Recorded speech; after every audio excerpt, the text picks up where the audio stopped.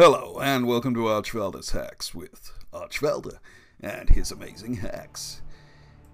Recently, there has been a growth of interest in auction house trading and flipping, and the emergence of some interesting channels such as Magicuz and Bregvids who deal with these concepts. What I'm going to share in this video is some powerful and advanced theories about making money from the auction house and this is something I have several decades experience in. Not so much from Warcraft itself, but until I quit about a year ago, for most of my adult life I made my living almost exclusively from professional gambling, cards and sports, etc. And I got to understand the behavior of markets pretty well. A lot of it was to do with finding exploits in online sportsbooks and casinos uh, much as I do now with Warcraft.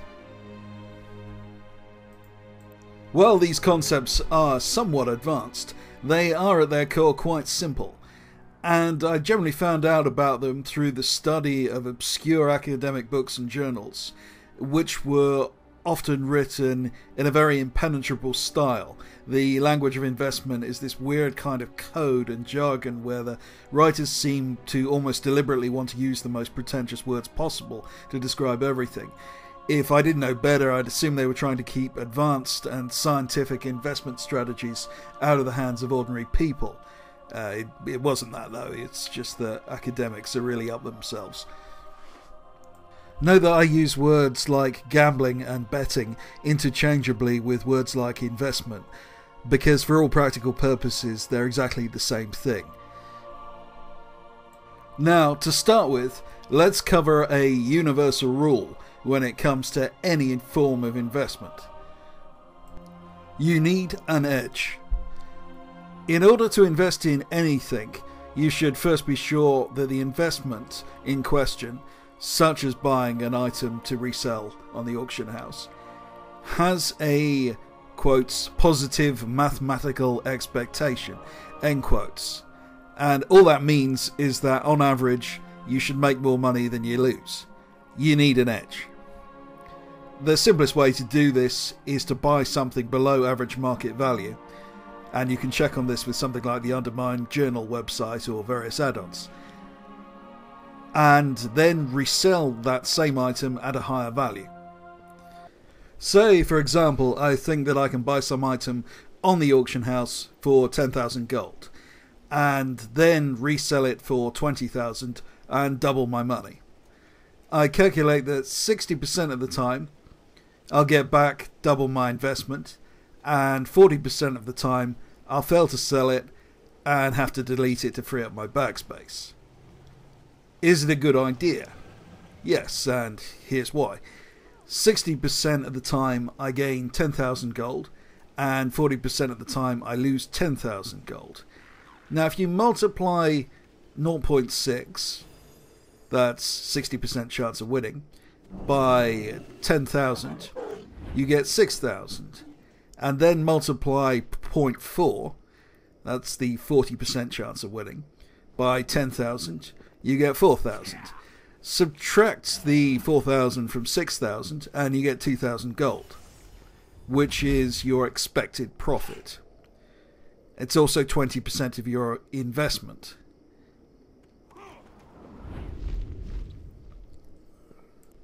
Now, when you think about investing, it is better to think in probabilities, as I'm doing here, than absolutes.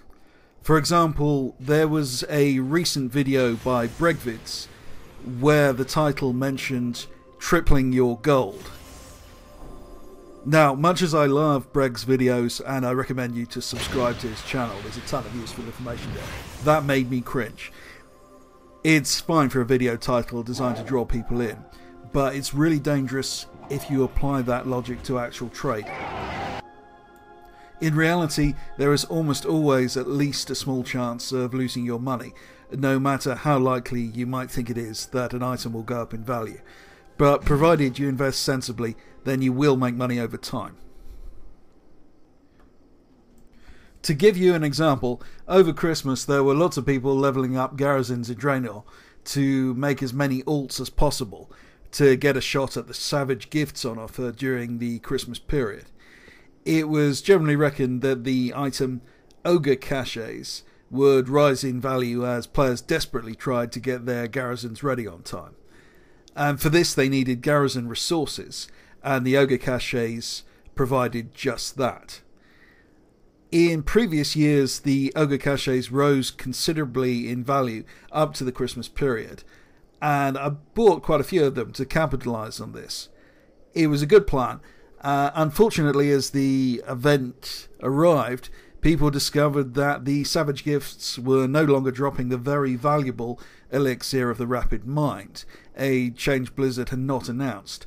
Consequently, many players didn't bother to level their garrisons at all, and the demand for the Ogre Caches fell. Now, this is fairly unusual. Mostly, if an item tends to increase in value over the course of the year, then it will do so most years. Most of the bigger traders use this strategy of buying seasonable items up and then reselling them later in the year very profitably. The point is not that you shouldn't invest, but that you shouldn't risk too much of your gold on any individual proposition. There is a simple formula to help you do this, and it's called the Kelly criterion. The Kelly criterion requires you to bet the same percentage of the total amount of gold you have relative to your advantage.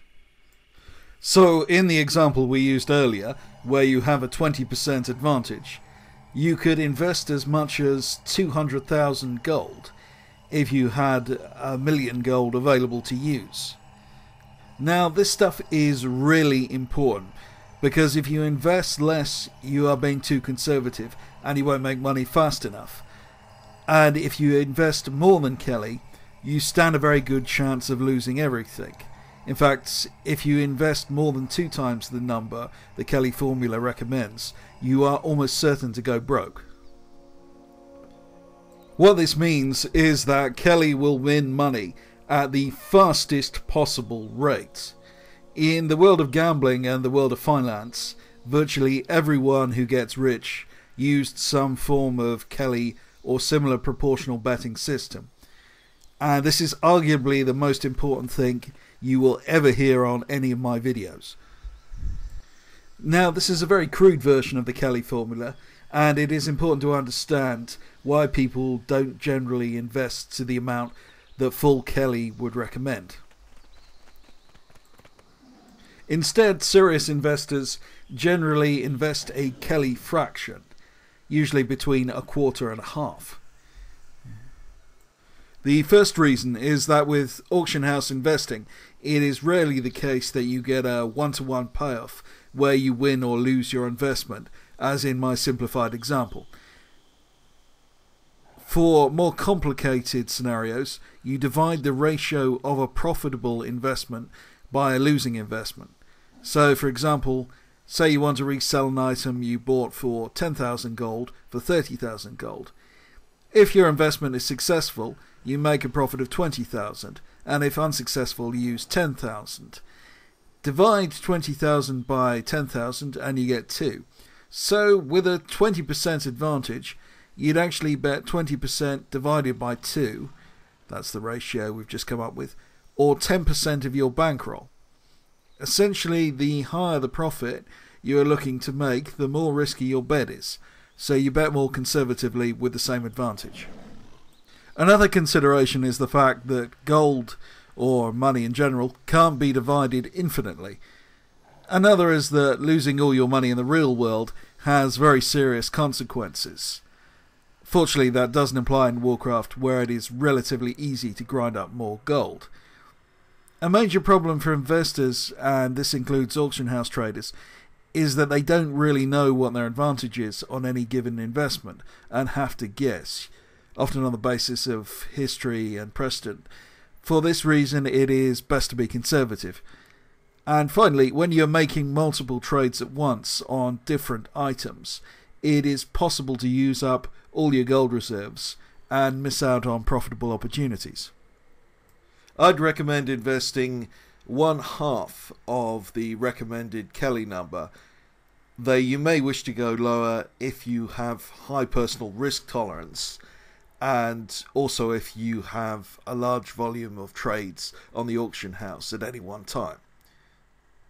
There really isn't any need to be too precise about this, just remember the general principle that you should bet relative to the size of the total amount of gold you have, and in proportion to your advantage.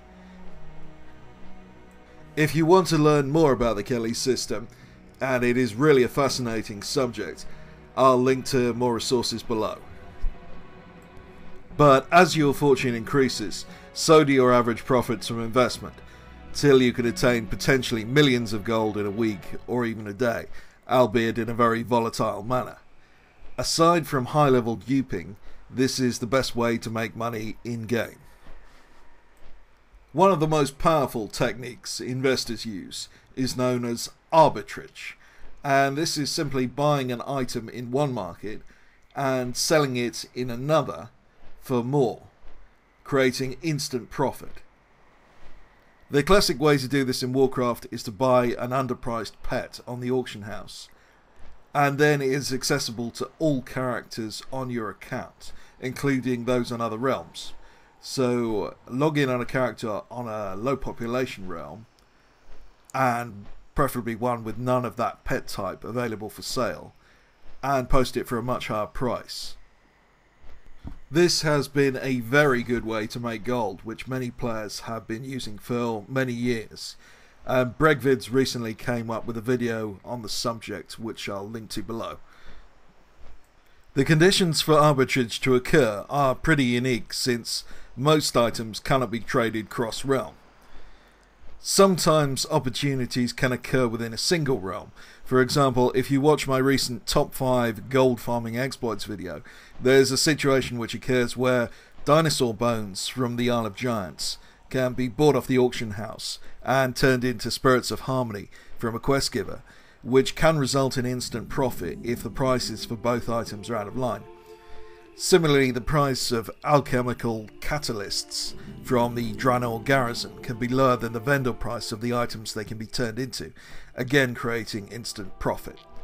There's a very advanced arbitrage concept which will give you an edge over even the most sophisticated auction house traders, but it is a very difficult technique to master Indeed, this technique is so strong that even many high level investors in the real world don't really understand it. To illustrate how it works, imagine an island economy with just two businesses. One is an ice cream van, and the other is a shop that sells umbrellas. When it rains, umbrellas sell fast and make money, but the ice cream doesn't sell and the van owner loses money. When the sun shines, the umbrellas don't sell, but the ice cream van is printing money. Both the ice cream van and the umbrella shop are profitable overall and would like to expand. But each owner is worried about borrowing money to do so, as they fear a long period of bad or good weather would mean they couldn't repay the loan. The solution, of course, is for the van owner and the umbrella shop to share profits and losses. That way, they both make a consistent, riskless profit, whatever the weather, and can afford to get loans and open new outlets. And they both make a ton of extra money. The same basic concept applies to auction house trading. If you can buy an item or items which tend to rise in value when another item falls in value, then the risk in both items cancels out. The technical term for this is covariance, and I'll link to a more technical explanation below. This is an incredibly profitable strategy when you can pull it off, as unlike most forms of arbitrage, you won't get people moving into the market and wiping out the value. But you need a situation where you have two items that are both by themselves good investments, and also where the value rises or falls in direct opposition to each other.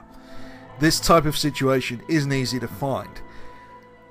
Let's go back to the Ogre Cache example. You may remember that before Christmas, many people brought up Ogre Caches, which help level your Draenor garrison, as a level 3 garrison allowed you to participate in quests over Christmas, which awarded the Savage Gift. that itself awarded a selection of very valuable items, including the Elixir of the Rapid Mind. The idea was that as Christmas came around, people would be struggling to level garrisons and would pay any price for the ogre caches, so they could get as many savage gifts as possible. Now, as it turned out, the caches didn't sell that well because Blizzard removed the elixirs from the savage gifts. However, if you were really smart, you would have noticed that Blizzard had been slowly removing experience potions from the game, and that they might well remove them from the Savage gifts. Without being an insider at Blizzard, you couldn't have actually known that 100%, but you could have been aware of it as a possibility. How would you use that information? Well, if you bought elixirs, then you covered yourself really well. You see, if Blizzard do nothing, then you can sell the caches at a nice profit. Plus, you can sell back the elixirs for the price you got them. If Blizzard removed the elixirs from the Savage gifts, as they in fact did, then you will likely lose money on the Ogre caches, but you will make a huge profit on the elixirs as they rise in price. And in fact, the elixirs did rise in price, almost doubling in value. Recognizing such opportunities isn't easy, but if you can master this mindset, you can beat not just the WoW auction house, but master almost literally any type of trading in the real or virtual world. The timer on this video is coming up to 17 minutes, so I'm going to leave a lot of stuff unsaid. I was going to cover things like random walk theory, the correctional behavior of the markets, and market psychology. All of which can give you a real edge with auction house trading. I'll link to some resources covering those subjects below. In this video, unlike much of my content, I haven't discussed exploits which allow you to take advantage of the WoW economy, which is something you may wish to subscribe for in future. And if you really want to know everything about manipulating the WoW economy, you may wish to sign up to my Patreon feed, where I work almost literally 24 7 to find all kinds of exploits for Patreons and post them the second I find them. But if you can't afford it or you just don't want to sign up, be assured that I'm committed to providing the most unique and valuable content on this channel for free for the foreseeable future. Thank you for watching. This has been Archvaldor.